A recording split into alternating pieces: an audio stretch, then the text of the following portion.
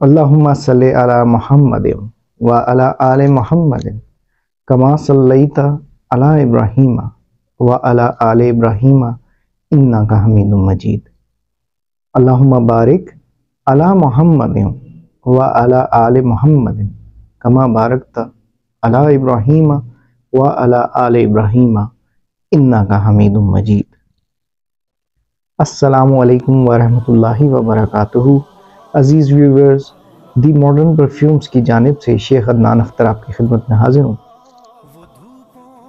सबसे पहले मैं आपसे माजरत हुआ हूँ कि जिन सेशंस का हमने आगाज़ किया था, उसमें कुछ डिले हमें करना पड़ गया।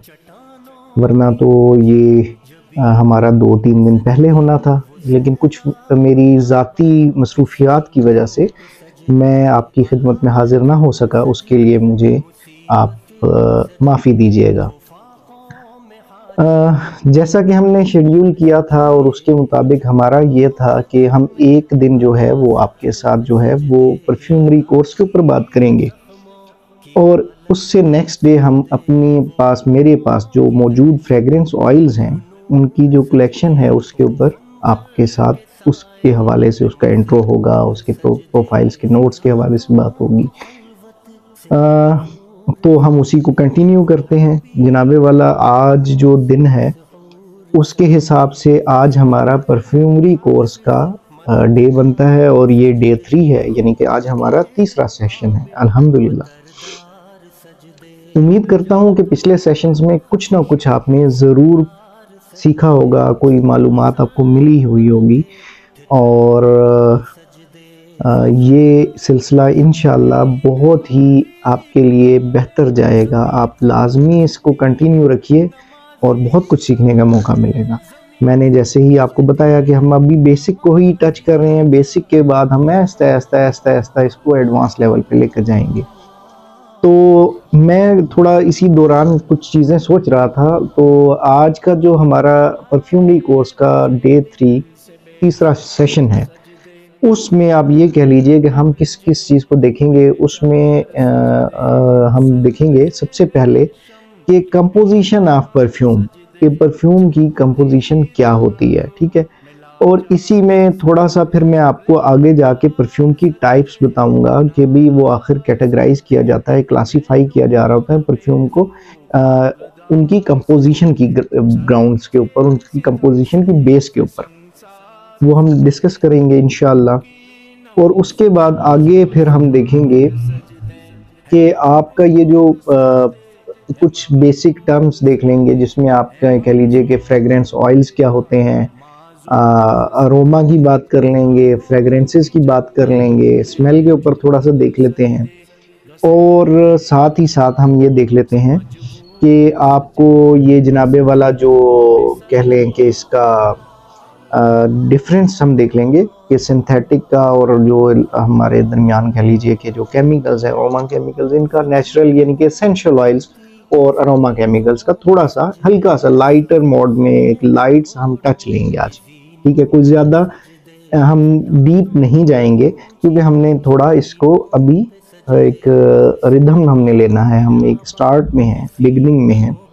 तो ये जो बेसिक है और बिगनर्स के लिए है। और उसके बाद फिर हम आगे जाएँगे इन चलिए जनाब उम्मीद भी करता हूँ कि मेरे बहुत सारे अज़ीज़ व्यूवर्स को यकीनी तौर पर पता भी होगा कि परफ्यूम की कंपोजिशन क्या है। परफ्यूम बेसिकली बाय डेफिनेशन तो हमने आ, उस दिन भी देख लिया वर्ड क्या है और कहाँ से और क्या कुछ है। तो उसको ज़रा थोड़ा सा आज हम मज़ीद आगे की चलते हैं। तो देखिए जी परफ्यूम की कंपोजिशन के हवाले से जब कभी भी बात होती है तो परफ्यूम बेसिकली एक आपके पास एक लिक्विड फॉर्म में होता है। आपके पास एक परफ्यूम स्प्रे फॉर्म में होता है, ठीक है? और परफ्यूम को हम ये कह सकते हैं कि ये एक फ्रेगरेंट लिक्विड होता है, यानी कि खुशबू देने वाला लिक्विड महलूल ठीक है जी? अब बेसिकली ये अगर हम इसको और थोड़ा सा डीप इसकी जाएँ और एक कंप्लीट इसकी डेफिनेशन को देखें तो ये बेसिकली कंपोजिशन होती है इसकी, आपकी फ्रेगरेंस की, ठीक है? अभी मैंने सिर्फ़ वर्ड यूज़ किया फ्रेगरेंस का। मैं आपको आगे इसको थोड़ा सा एक्सप्लेन कर देता हूँ। साथ ही कुछ इसके अंदर हम डालते हैं सॉल्वेंट्स जो कि इसको डिजोल्व करेगा। सॉल्वेंट मीन जो कि इसको डिजोल्व कर देगा इस फ्रेगरेंस को ठीक है? और अब इन इन दोनों से हमारा परफ्यूम तो तैयार हो जाता है लेकिन मजबूरी आती है कि क्योंकि स्ट्रेंथ थोड़ी कम हो रही है। एक तरफ़ कंसंट्रेशन ज़्यादा है और उसको जब डाइल्यूट कर रहे हैं हम किसी भी आ, उसके कह लीजिए कि सॉल्वेंट में जो कि उसको हल कर रहा है उस ऑयल को तो उसकी वजह से इसकी स्ट्रेंथ ऑयल की कुछ कम हो रही है तो उसको हम करने की खातिर हम उसको कह लीजिए एडिटिव्स हम डालते हैं, जिसको हम फिक्सेटिव्स बोलते हैं। फिक्सर्स भी आम ज़ुबान में चल जाता है, लेकिन असल जो वर्ड है वो फिक्सेटिव्स का है। तो कह लीजिए कि ये एक कंपोजिशन है। हमारे पास परफ्यूम इज़ अ कंपोजिशन किस किस की चीज़ की नंबर वन के फ्रेगरेंस की है? अब वो फ्रेगरेंस आपके पास किस तरह की हो सकती है? दो तीन चीज़ों की हो सकती है। या तो वो नेचुरल होगी एसेंशियल ऑयल्स की फॉर्म में होगी। या वो कोई आपके पास बना हुआ फ्रेगरेंस ऑयल होगा कंसनट्रेटेड फ्रेगरेंस ऑयल होगा, या तीसरी चीज़ ये होगी कि आप कोई अरोमा केमिकल्स का कंपाउंड बनाएँगे, कोई केमिकली आप खुद से कुछ डिज़ाइन फार्मूलेट करेंगे ये तीनों चीज़ें अभी तक फ़िलहाल इसको यहीं पे रखी है, बाकी भी बहुत सारी चीज़ें हैं, लेकिन तीन चीज़ें मेन है फ्रेगरेंस के अंदर। एक आपका एसेंशियल ऑयल दूसरा आपका जो है, कह लीजिए कि हमारे पास concentrated fragrance oils chemical based होते हैं, फिर आगे अरोमा केमिकल्स आ गए ठीक है? ये तीन चीज़ें हमारे पास फ्रेगरेंस में आ जाती हैं। देन हम क्या करते हैं कि दूसरी चीज़ हम इसमें सॉल्वेंट लेते हैं। सॉल्वेंट क्या चीज़ है? सॉल्वेंट वो होती है जो कि इस फ्रेगरेंस ऑयल को डिजोल्व कर देती है, उसको हल कर देती है। उसको, उस ऑयल फॉर्म से चेंज करके वो लिक्विड फॉर्म में ले आती है और लिक्विड भी आल्दो के ऑयल भी लिक्विड है, लेकिन उसकी विस्कोसिटी बिल्कुल कम कर देती है और उसको बहुत ही लाइट कर देती है, इतना लाइट कर देती है कि जब आप उसको इसके ऑटोमाइज़र से स्प्रे मारते हैं तो वो आपके सामने वेपर की फॉर्म में वेपरेट हो जाती है, ठीक है? और उसके बाद कुछ देर के बाद उड़ भी जाती है। तो ये हो गया सॉल्वेंट सॉल्वेंट की अब डिफरेंट काइंड आ जाती हैं। मार्केट में बहुत सारे लोग बहुत कुछ यूज़ कर रहे होते हैं। रिकमेंडेड जो है वो हमेशा एथनॉल होता है अल्कोहल होता है। परफ्यूम ग्रेड अल्कोहल ही चल, चलाना चाहिए। आप नॉर्मल अल्कोहल की बात ना कीजिए। नॉर्मल कोई आप एथनॉल की बात ना कीजिए। एथनॉल की डिफरेंट कैटेगरीज हैं। स्पेसिफिक हमें चाहिए एथनॉल कौन सा? जो कि परफ्यूम ग्रेड का एथनॉल होगा। ठीक है जी? उसके अलावा नहीं चाहिए ना फ़ूड ग्रेड का चाहिए ना ही हमें जनाब वाला ये एनालिटिकल ग्रेड का चाहिए हमें स्पेसिफिक चाहिए होता है परफ्यूम ग्रेड का एथनॉल लोग मिसगाइड करते हैं बस पढ़ लिया समझा दिया कहीं से यूट्यूब से किसी की वीडियो देख ली किसी अलामा से हमने सुन लिया जिन्होंने फरमा दिया कि जनाबे वाला एथनॉल ढूंढ ले और एथनॉल की परसेंटेज भी वो बता रहे होते हैं इतने परसेंट का एथनॉल ढूंढ ले 99 परसेंट का तो, तो वो आपके परफ्यूम का तबाहकुन किस्म का बेड़ा गर्क करा देते होते हैं बहरहाल। ये भी हम इस पर भी जाके आगे आपके सामने इसको भी पेश करेंगे। आपकी खिदमत में कि एथनॉल का हमें आ, कितना केयरफुली हमने एथनॉल चूज़ करना है। देन आगे आ जाएँ आप। टी ट्वेंटी भी लोग यूज़ कर रहे होते हैं but that is not recommended और मैं कम अज कम बिल्कुल भी रिकमेंड नहीं करूँगा कि आप लोग परफ्यूमरी में टी ट्वेंटी की तरफ़ जाएँ। आल दो के एक बहुत ह्यूज डिफरेंस है इसकी प्राइसिंग में। ठीक है? जो टी ट्वेंटी है, वो तो हंड्रेड हंड्रेड्स में आ जाता है पर लीटर ये थाउजेंड्स में आता है, ठीक है जी? और थाउजेंड्स में भी अच्छी खासी महँगी आती है परफ्यूम ग्रेड का एथनॉल ठीक है, बाकी लोकली तो बहुत सस्ते भी मिल जाएँगे बट जो आपको परफ्यूम ग्रेड का एथनॉल है, वो बहुत एक्सपेंसिव होता है।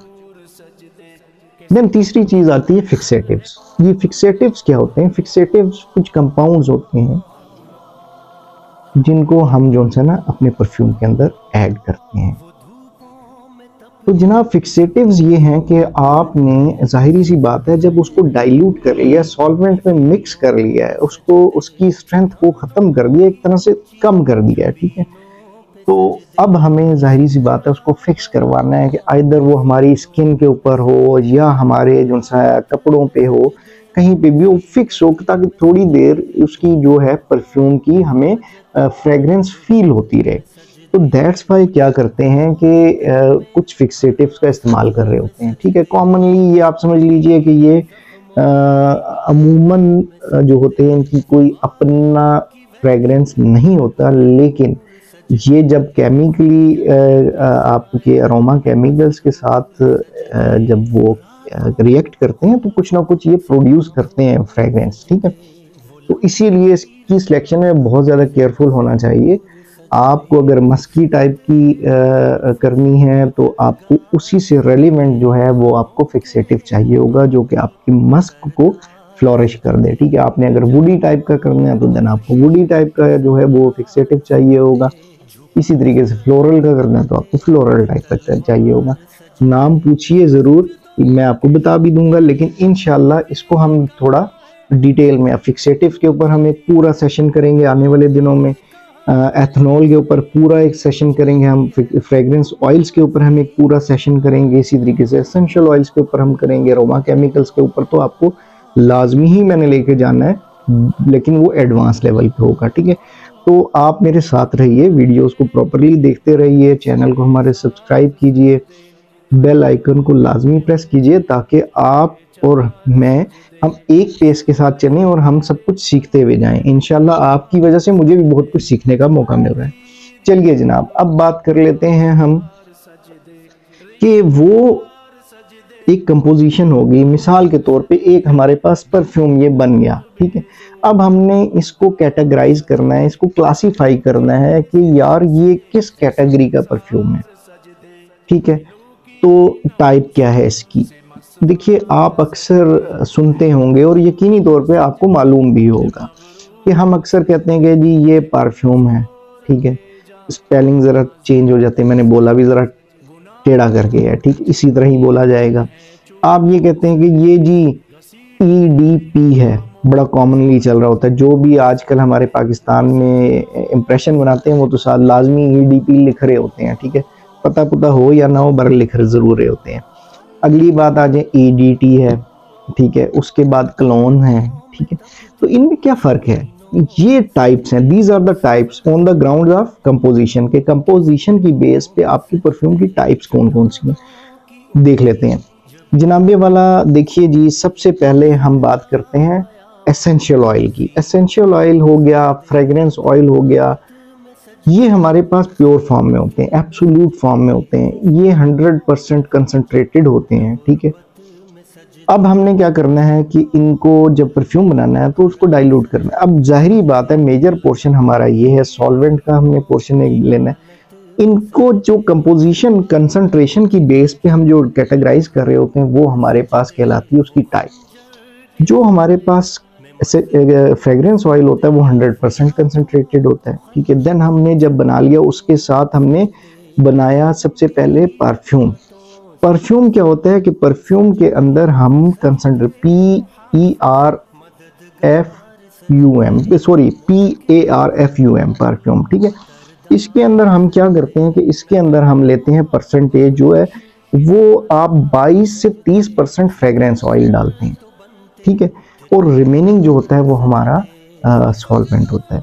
और ये चल रहा होता है हमारा 10 से 24 घंटे तक हमें लास्टिंग देता है अमूमन।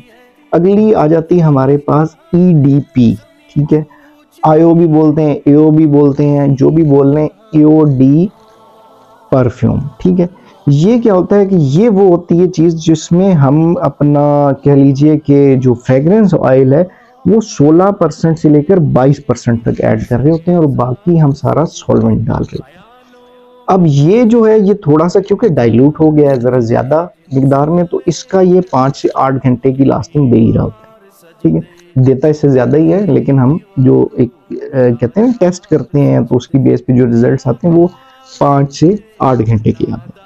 अगला आ जाता है, इससे और मजीद डाइल्यूट कर दिया जाए तो ई डी टी आता है, ठीक है, जिसको बोलते हैं हम आयोडी टॉयलेटी ठीक है। अब ये टॉयलेटी भी बोलते हैं टॉयलेट भी बोलते हैं, ये वो वाला टॉयलेट नहीं है, ये एक कह लीजिए कि फ्रेंच वर्ड है, और इसका मीनिंग था जी अरोमे अरोमेटिक वाटर ठीक है फ्रेशनेस के लिए। तो ये समझ लीजिए कि वाटर ही है। क्यों? क्योंकि इसके अंदर फ्रेग्रेंस ऑयल जो है वो बहुत कम कंसंट्रेशन में होता है। इसके अंदर सिर्फ़ 6 से 16 परसेंट हम फ्रेग्रेंस ऑयल यूज़ करते हैं। रिमेनिंग जो है वो सॉल्वेंट और फिक्सेटिव्स आ जाते हैं। फिक्सेटिव्स बहुत थोड़े आते हैं, लेकिन सॉल्वेंट्स ही ज़्यादा आते हैं। तो ये हमारे पास जो है, कह लीजिए कि ये आप तीन से चार घंटे की फ्रेग्रेंस आपको मिलेगी इससे। और नेक्स्ट आता है ईडीसी आयोडी क्लोन्स ठीक है। इनके अंदर बहुत ही कम मकदार में जो है कंसनट्रेटेड फ्रेगरेंस ऑयल ऐड होता है। माफ़ कीजिएगा। इसमें तकरीबन तीन से छः परसेंट का जो है फ्रेगरेंस ऑयल डलता है रिमेनिंग सॉल्वेंट आ जाता है। और ये दो से ढाई घंटे की ही आपको लास्टिंग देता है। उसके बाद आ जाते हैं आफ्टर शेव्स आ जाते हैं और उसी को हम आयोडी फ्रेंसी बोलते हैं, ठीक है। तो ये एक से तीन परसेंट इसके अंदर कंसनट्रेटेड फ्रेगरेंस ऑयल होता है रिमेनिंग जो होता है आपका वो कह लीजिए कि सॉल्वेंट होता है। और एक से दो घंटे की ही ये आपको लास्टिंग देर होता है। तो ये हमारी कैटेगराइजेशन हो जाती है on the basis of composition concentration की बेस पे। तो ये बेसिक सी चीज़ें इनका आपको पता होना चाहिए। खुशबू का इस्तेमाल लाजमी कीजिए और अपनी शख्सियत को बावाकार बनाइए। क्योंकि खुशबू के इस्तेमाल से आप अपने इर्द गिर्द के लोगों को मुतासर करते हैं, आपकी एक पहचान बन जाती है आपकी खुशबू। और खुशबू को हमेशा इस नीयत से इस्तेमाल कीजिए कि ये हमारे प्यारे नबी हज़रत मोहम्मद मुस्तफ़ा सल्लल्लाहु अलैहि सल्ला वसल्लम की सुन्नत मुबारक है और तमाम अम्बिया कराम सलाम की सुन्नत रही है। तो इस बहाने शौक का शौक भी पूरा हो जाएगा और सुन्नत का सवाब भी पूरा हो जाएगा। मुझे कल तक के लिए दीजिए इजाज़त। कल इंशाल्लाह आपकी खिदमत में हाजिर होऊँगा एक अपनी कलेक्शन में से किसी एक फ्रेगरेंस ऑयल के इंट्रो के साथ। तब तक के लिए अपना बहुत ज़्यादा ख्याल रखिएगा। फ़ी अमान असल वरहमल वर्का